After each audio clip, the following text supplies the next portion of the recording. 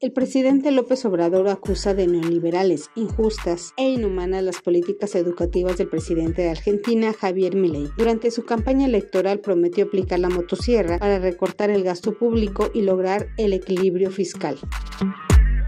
Pedro Sánchez, presidente de España, se plantea renunciar a la presidencia tras denuncia contra su esposa, Begoña Gómez, por supuesta corrupción y comunicará su decisión el próximo 29 de abril. Joaquín Moreno es el nuevo entrenador de Chivas Femenil de manera interina para el cierre de la fase regular y liguilla. Wendy Guevara compartió escenario con la reina del pop Madonna durante su concierto en la Ciudad de México.